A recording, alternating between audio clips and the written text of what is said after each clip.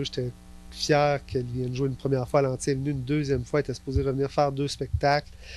Agnostic Front sont venus faire trois spectacles en ligne, sold out. Ça, j'étais très content. Euh, Blue Jeans Bleu, ils, ont commencé à l'anti. Maintenant, ils jouent au, au Sandbell avec Céline Dion. Euh, il y en a plein, en fait. Je dirais, à chaque, à chaque jour que je confirme un spectacle à l'anti, je suis content. Puis euh, la, crise sanitaire m'a fait un peu arrêter mon, ma progression. Mais je pense que c'est positif d'une certaine façon parce que je vais revenir en force quand on va pouvoir recommencer à présenter des spectacles. Et par rapport à ces grands noms-là que tu as mentionnés, est-ce que tu aurais une anecdote à nous raconter?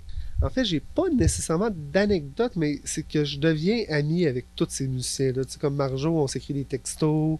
Euh, le, le, chanteur de Madball, tu sais, c'est rendu, euh, rendu quelqu'un qu'on qu se respecte, qu'on se parle une fois de temps en temps. Tu sais, ce que je suis là, j'accueille les artistes. Je pense à Fred Fortin quand il est venu à l'Anti, j'ai fait sa dégustation de bière sans alcool.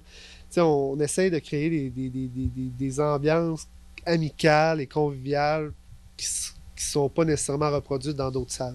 Carl Emmanuel, un énorme merci de nous avoir accueillis puis d'avoir répondu à nos questions. Merci beaucoup. À la prochaine.